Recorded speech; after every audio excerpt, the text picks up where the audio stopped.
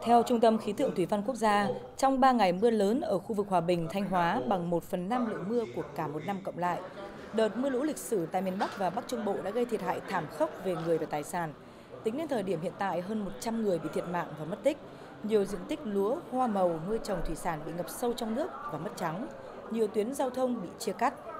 Do đó, buổi quyên góp hết sức kịp thời với sự tham gia của lãnh đạo Bộ Công Thương, Chủ tịch Công đoàn Công Thương và đông đảo các công chức, viên chức, người lao động ngành công thương, thể hiện tình cảm tương thân, tương ái, sẻ chia với nỗi đau của người dân tại miền Bắc và Bắc Trung Bộ trong những ngày mưa lũ vừa qua.